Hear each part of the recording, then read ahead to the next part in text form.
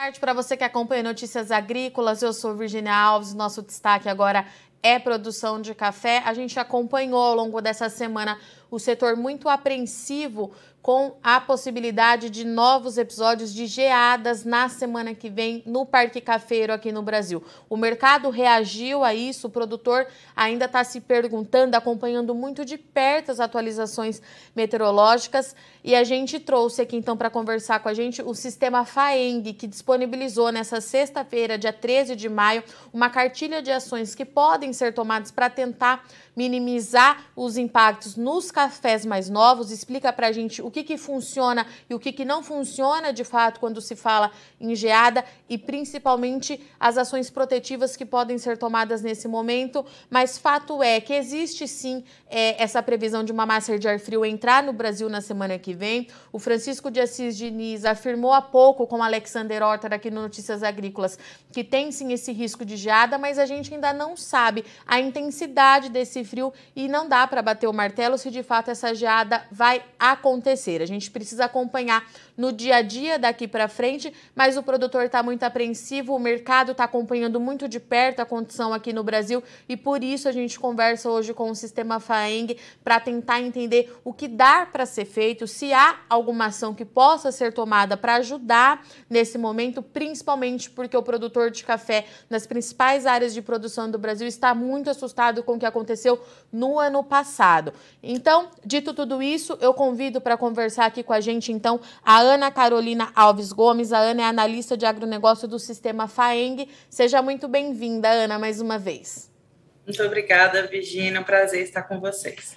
Ana, vamos lá então. Tá todo mundo se perguntando, acompanhando muito de perto esse frio antecipado e, e ao que tudo indica, tende a ser mais intenso, podendo chegar até as áreas de café, né, Ana? É, eu gosto de frisar isso para o produtor, que tudo isso ainda é uma previsão. Esse frio é para a semana que vem, a gente precisa acompanhar no dia a dia, mas o sistema FAENG, de olho aí nas preocupações do produtor, divulgou algumas informações nessa sexta-feira.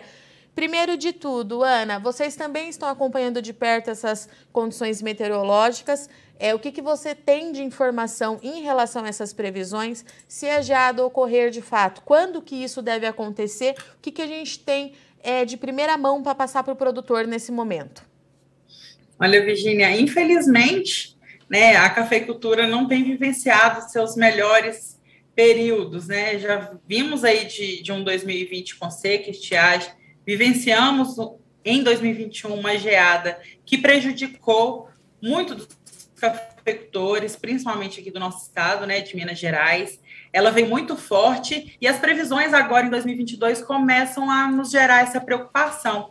Então, em virtude disso, o sistema FAENG é, gerou esse, esse alerta geada, mas no sentido de é, os produtores agirem preventivamente, né, no sentido de monitorar esse frio e como que ele pode estar tá adentrando e prejudicando as suas lavouras. Né? Você mesmo mencionou aí é, a, a, a, previsão do, das temperaturas para as próximas semanas de, de serem negativas, até mesmo é, mais frias, mas o risco de geada ele é um potencial, né? Como a gente está numa previsão de longo prazo, até lá muita coisa pode acontecer. Elas podem se confirmar ou não. Então, a hora agora é de monitoramento dessas condições e como que isso pode estar impactando as suas lavouras. Ana, antes da gente falar dessas ações que o produtor pode vir a tomar, é, o que, que de fato é a geada para o café, né? Como ela acontece e onde que está o risco? Eu queria entender isso, relembrar é, um pouquinho de como que isso acontece. Bom, a geada é um fenômeno microclimático, né, de natureza física, e ela está condicionada aí aos fatores, principalmente de clima e altitude. Né? É, a geada na agricultura, a gente pode entender que é toda queda extrema de temperatura que causa dano à vegetação. É, cada cultura, cada cultivo agrícola, ela tem uma temperatura que a gente considera que ela é letal. Né? No café, por exemplo, é, quando a gente tem uma temperatura é, marcada de 2 graus, ela costuma ser até mesmo menos 5 graus a menos para a cafeicultura, que sente a planta, né? Isso pode estar tá gerando danos ali na sua estrutura fisiológica e ocasionando morte das folhas, dos ramos e até mesmo do tronco. Então, ela a, a geada pode ocorrer danos significativos na produção, na renda, na rentabilidade e também da estrutura da lavoura. E Ana, é, em que momento que ela traz preocupação, né? É, porque o que a gente acompanhou no ano passado é que vem a temperatura cai numa noite em que não tem muita nuvem no céu. Você vai me acompanhando ver se é isso mesmo. É, aí vem esse gelo e depois vem o sol, que é o que acaba queimando é, as áreas dessa planta. É isso? É nesse momento que acontece o problema? No não amanhecer... é bem o gelo que mata as plantas, Virginia. Tá. O que mata a planta é um conjunto de fatores, que é principalmente a baixa umidade né, e a temperatura negativa. Então, essas, essas condicionantes juntas que fazem é, a planta ter essa reação e acaba gerando ali problemas é, fisiológicos na sua estrutura, né? Então, a gente considera que não é o sol que queima a, tá. a, a, planta e que ela vai se danificar com o, o, sair do sol. Na verdade, esse processo ocorre na madrugada ali, onde é, é essa junção desses fatores de baixa umidade e temperatura negativa é, chega nessa temperatura que é letal para aquela planta. Ana, e diante de tudo isso, o que, que o produtor pode fazer? Primeiro de tudo, alguma ação que, eles, que ele possa fazer é, para mitigar esse dano. Eu queria que a gente começasse falando com os cafés mais novos, pode ser? Porque pelo que você me explicava antes da gente entrar ao vivo, são dois cenários diferentes, né? Para a planta Sim. mais nova e para o café já adulto. Vamos começar então com o café é, mais novo, com plantio mais recente. O que, que dá para ser feito nesse caso? Certo. Para plantios mais novos, Virginia, a gente recomenda aí para plantios, por exemplo, até seis meses, né? Ou seja, as mudas mais novinhas, é que elas sejam é, enterradas, né? Então, existem algumas técnicas é, produtivas que a gente faz o, o, o enterro dessas mudas, protegendo-as desse frio. É, e mudas um pouco maiores, entre seis meses e dois anos, a gente recomenda estar tá fazendo o amontoamento de terra próximo ao tronco dessas plantas, também para prevenir e prevenir a, a acolher né, essa planta para que ela não sofra esse frio. E em viveiros em que as mudas ainda nem foram plantadas, uhum. a gente recomenda a cobertura ou o aquecimento dessas estruturas, né? Então, você fazer a cobertura com lona, com plástico e fazer o aquecimento desses viveiros também são é, técnicas que a gente vem recomendando para minimizar esses impactos. Agora, em relação a lavouras já implantadas, o que a gente recomenda no, no primeiro momento é a limpeza do terreno. Né? Então, você deixando um terreno totalmente limpo, principalmente ali nas meias encostas, nas entrelinhas, você tem ali um, uma, uma diminuição da umidade né, que também favorece em relação à formação dessa geada. Então, são ações preventivas que a gente recomenda, além do mais importante, que, que visa a dar maior segurança aí no produtor rural, que é a aquisição e a contratação de seguro. É, o seguro rural ele é importantíssimo, principalmente em se tratando de adversidades climáticas. E Ana, nas lavouras com idade, vou voltar um pouquinho, entre seis meses e dois anos, onde amontoar é, essa terra no tronco, pelo que eu entendi aqui do seu comunicado, essa proteção pode ser mantida até setembro? É isso? O produtor pode isso. fazer isso e deixar, do, e deixar desse jeito até a, o início da próxima temporada, é isso?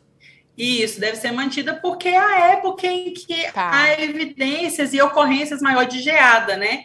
Então, porque a retirada dessa terra ela deve ser feita manualmente, justamente para não danificar a estrutura que vem crescendo ali, né? Então, a gente orienta fazer é, esse aterro, porém, tirar com as mãos, evitando o uso de equipamento, para que não danifique a estrutura da planta e você venha perder essa planta que já cresceu ali o seu tempo de vida, né? Tá. E no caso das coberturas com camada de plástico, é, o produtor retira isso logo que, o peri é, que, é, que, esse período de geada passar, ele não deixa, né? Ele faz para aquela madrugada enquanto houver isso. o risco e depois ele tira esse plástico, é isso?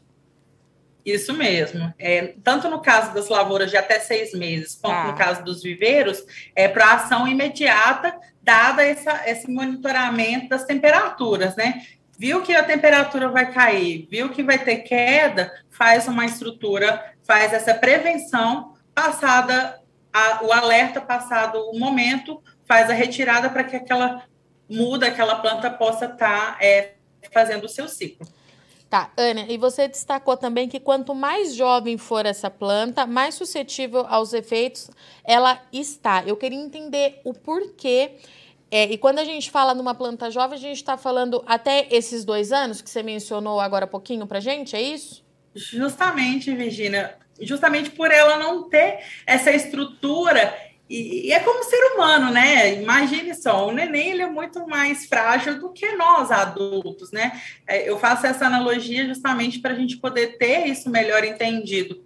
É, a, a, planta mais nova ela é muito mais sensível a, a, essas adversidades do que uma planta adulta, do que uma planta que já está com suas raízes definidas, com sua nutrição, é, entre outras condicionantes, né? E para a planta adulta, Ana, tem alguma ação que o produtor pode tomar é, agora, já para a semana que vem? Ou essas ações entram aí num planejamento estratégico para os próximos anos? O que, que você acha? O que, que você tem de informação para a planta já adulta? Olha, é, Virginia, é, a questão da limpeza do, do, do, terreno, né? Ela é um ponto fundamental para evitar o acúmulo dessa umidade aí é, da matéria orgânica próximo à, à lavoura. É, e também é, há recomendações de arborização, né? Alguns pontos da, da lavoura terem estruturas é, arbóreas para fazer esse quebra-vento, para minimizar o vento frio nas lavouras já consolidadas. Né? Mas são técnicas que são de longo prazo, né? O que a gente recomenda para o curto prazo agora realmente é a questão do seguro rural, que é uma medida preventiva que vai é, percorrer por toda a safra e o produtor pode estar se prevenindo aí, prevenindo sua renda, sua produção, entre outros pontos que o seguro pode estar cobrindo. Então, então a... é a, a, recomendação maior, assim, né? Isso que eu ia te de, perguntar. De... É, se, tem, se o produtor que está se perguntando o que, que ele faz se ele ainda não tiver um seguro rural, é por esse caminho que ele tem que ir, é isso? Infelizmente, se tratando de adversidades climáticas, clima a gente não controla, né? Então a gente recomenda aí o seguro como uma medida preventiva. É como, vou fazer mais uma analogia a nós humanos, é como seguro de vida ou plano de saúde. Infelizmente a gente paga para não usar e nesse sentido, diante das a, a ocorrências que vem é, tendo no clima e principalmente nas áreas de cafeicultura, viemos de uma de uma geada muito forte que acometeu aí muitos produtores, já vem sinalizando aí que esse ano também pode ser um ano é, com ocorrências, então a gente precisa se prevenir é, e não esperar a, o, o fato acontecer para buscar ações e medidas.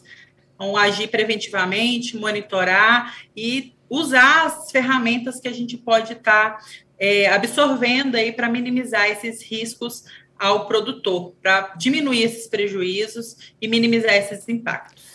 E Ana, eu vou aproveitar sua vinda aqui no Notícias Agrícolas porque tem também uma série de ações que o produtor acaba tomando nesse momento de muita preocupação e que elas não funcionam de fato, né? O produtor acaba aplicando o seu tempo ali é, aposta em algumas ações e elas de fato não funcionam, não dão o efeito que é esperado pelo cafeicultor. Eu queria que você pontuasse para a gente aí quais são as medidas que o produtor às vezes insistem em tomar na lavoura, mas que de fato não resultam em bons resultados aí contra a geada.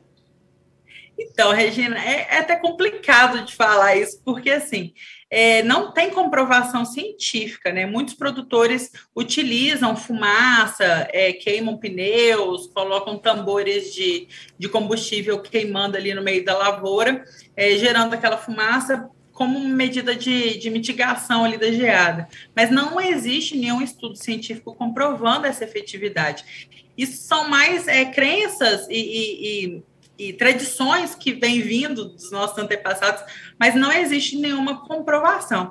É, de fato, as medidas é, que a gente coloca, que a gente destacou no nosso é, alerta, são essas que nós é, mencionamos aqui hoje, né, principalmente para as uhum. plantas mais jovens, e o sistema de arborização é, e a limpeza dos terrenos. Essas questões de, de fumaça, é, não existe comprovação científica. Pode ser que aconteça de ter dado certo por alguma eventualidade de um produtor ou outro, mas não existe comprovação científica em relação a essa técnica. Perfeito. E Ana, para a gente encerrar, é, num cenário muito pessimista, dessa geada se confirmando e vindo acontecer, a preocupação é para esse café que está no pé, porque a gente sabe que a colheita ainda está pegando força, tem bastante café no pé ainda, ou ela traz preocupação para 2023, perdão. Qual que é o impacto disso para 22 e posteriormente para o ano que vem? Geralmente, é, Virginia, o impacto da geada ele é advindo nas próximas safras, né? Perfeito. O que está no pé vai ser colhido, então, é, infelizmente, também já, já temos relatos aí de que é, não foi uma, uma produção como era de se esperar. Muito, a gente tem recebido muitas imagens e produtores relatando, né, que os pés dos cafeiros estão com a menor produção deu uma florada abundante, porém uhum. é, o grão um pouco se, se fixou ali, né, como fruto, mas o impacto da geada a gente espera para os próximos para as próximas safras, os próximos ciclos, né? Uma vez que o cafeiro é aquela planta que é, interage o ciclo reprodutivo e vegetativo no mesmo, simultaneamente, né? Na mesma época. Então, a gente tende a, a, a ter essas expectativas mais é, de impacto, principalmente para as próximas safras. Ana, tem mais alguma coisa que você acha que seja importante a gente falar para o cafeicultor nesse momento? O Cafaeng é, tem observado por aí, como você disse, né? A safra de fato vai se consolidando com quebra, já é reflexo de um clima muito adverso. Se tiver mais algum ponto que você acha importante para passar para o produtor que está nos assistindo, o espaço é seu, fique à vontade. Bom, o que a gente recomenda, Virginia, é sempre o produtor agir com muita cautela, ter esses monitoramentos, estar atento a essas informações e essas medidas preventivas. A gente sempre recomenda agir preventivamente do que a gente remediar alguma situação. Então, a nossa recomendação é essa: o sistema FAEM está de portas abertas, sempre para qualquer intercorrência, qualquer dúvida, pode estar entrando em contato conosco aqui, que a gente faz as orientações adequadas, devidas, é, e a questão é principalmente é, dessa safra agora, que a gente espera que tenhamos todos uma boa safra, né? infelizmente os cenários não são favoráveis, mas a gente espera que as coisas melhorem com o tempo e, mais uma vez, nos colocamos à disposição para auxiliar os produtores nesse momento difícil. Ana, muito obrigada pela sua participação, disponibilidade, convite aberto. A safra está só começando, o inverno ainda nem chegou. A gente vai precisar se falar muitas vezes ainda. Muito bom falar com você, um bom final de semana e até a próxima. Igualmente, Virginia, um abraço a todos. Muito obrigada. Portanto, essa foi a nossa conversa com a Ana Carolina Alves Gomes, analista de agronegócio do sistema FAENG, que está acompanhando de perto as previsões de frio nas áreas de café. A Ana trouxe aqui para gente que há sim a preocupação, é, esse fio precoce, mas que, de acordo com os meteorologistas, tende a ser mais intenso, pode chegar em áreas do Parque Cafeiro. É, as previsões mais recentes é, indicam declínio expressivo nas temperaturas é, na Alta Mogiana, no sul de Minas Gerais e também nas áreas de produção do Paraná. E a Ana trouxe aqui para a gente, então, junto com o sistema FAENG, tudo o que pode ser feito nesse momento pelo produtor. A Ana destacou que é importante que o produtor tome algumas medidas preventivas para os cafés mais novos, para as mudas e também pro, nos viveiros.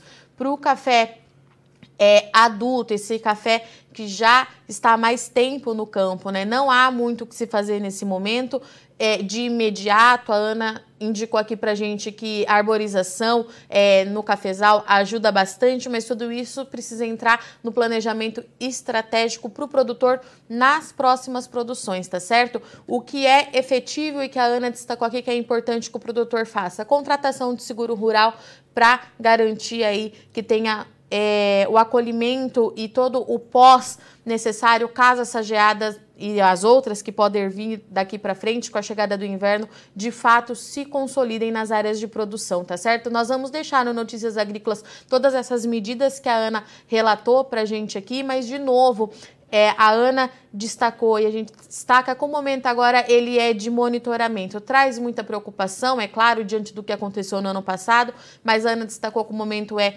de pé no chão para o produtor de café. A gente precisa esperar para ver como é que esse frio vem, se ele vem com toda essa intensidade. As previsões indicam aí é, as temperaturas mais baixas entre quarta e quinta-feira da semana que vem. Então, até lá, os modelos vão se atualizando e a gente vai trazendo para vocês as informações é, mais recentes, tá certo? Nesse momento é hora de monitoramento, tem as ações que você pode tomar com os cafés mais novos, tem aqui as ações que você pode tomar visando já as próximas safras e a gente continua buscando as informações mais atualizadas para você, tá certo? Eu agradeço muito sua audiência e companhia, mas não sai daí que a nossa programação continua e já já o Enea tá de volta. Participe das nossas mídias sociais no Facebook Notícias Agrícolas, no Instagram, arroba Notícias Agrícolas e em nosso Twitter, arroba Notiagre. E para assistir todos os nossos vídeos, se inscreva no YouTube e na Twitch Notícias Agrícolas Oficial.